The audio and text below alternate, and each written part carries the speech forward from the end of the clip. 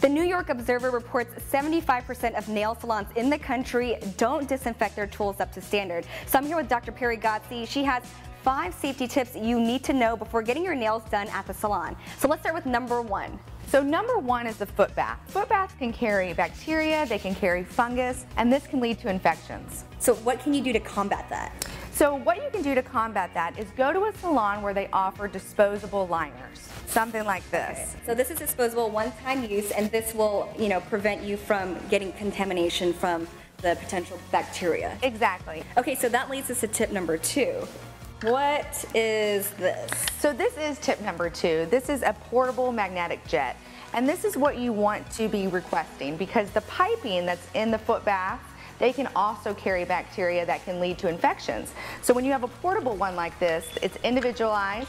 They sanitize it after every single visit, and then that way it's kept clean.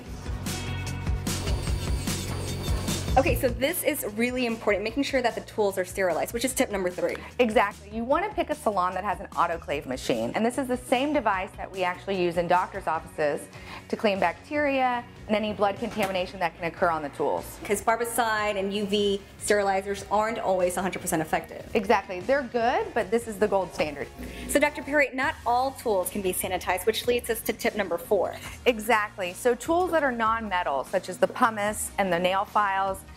the emery boards, they cannot be sterilized. And so what you're going to want to do then is make sure that you find a salon that has the packages that are one-time use or somewhere that will allow you to bring your own stuff from home. Okay, that's good to know. So now let's go into tip number five, our very last tip. So our last tip of the day is you want to make sure that you have it freshly shaven your legs right before you go and get a pedicure. Okay, why is that? Well, because shaving can basically cause some microscopic breaks in the skin and that can allow bacteria to enter, which could potentially lead to infections. Thank you so much, Dr. Pari. So where can we go for more women's health tips? So you can find some more health tips on my website, doctorpari.com. All right, there you go. You guys, happy pampering.